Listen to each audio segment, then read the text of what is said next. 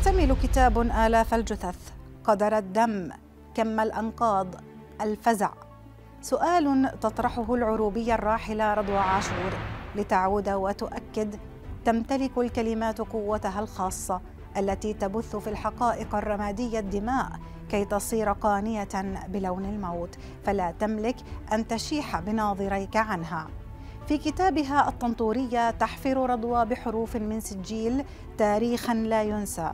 وترصد حقا لا يضيع لوطن سيكون محرقة للعدو. ليست فلسطينية الهوية بل مصرية عربية أيقنت أن فلسطين تجسد المشروع القومي للمثقف العربي وأكدت أن وحدة التراب من المحيط إلى الخليج ستبقى تشكل انتماء ثقافيا لفلسطين. رضوى المصرية ارتبطت وجدانيا وعاطفيا بالكاتب الفلسطيني مريد البرغوثي الذي غادر قريته دير غسانة في رام الله عام 63 طلبا للدراسة في مصر.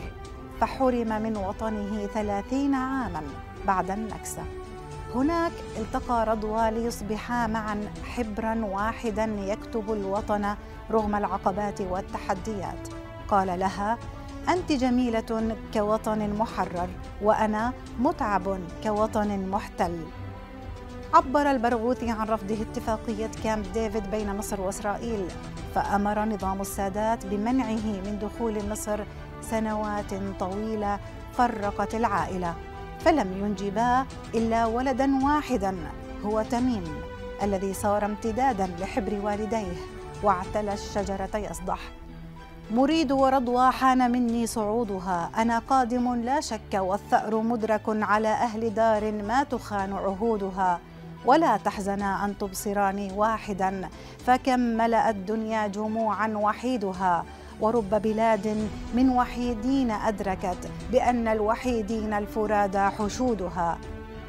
كانت كتاباتها كتربيتة حب على روح مريد المغتربة. ترقى لتهدى إلى الكل الفلسطيني في الوطن والشتات. في الطنطورية نكأت رضوى الجرح الذي لم يزل ينزف منذ مئة عام وخلدت مأساة اللاجئ الفلسطيني في الشتات.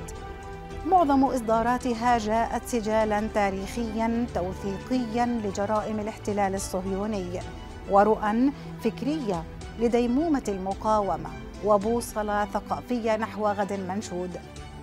ماتت رضوى ولحقها مريدها وظل تميم يردد قضيتهما شعرا.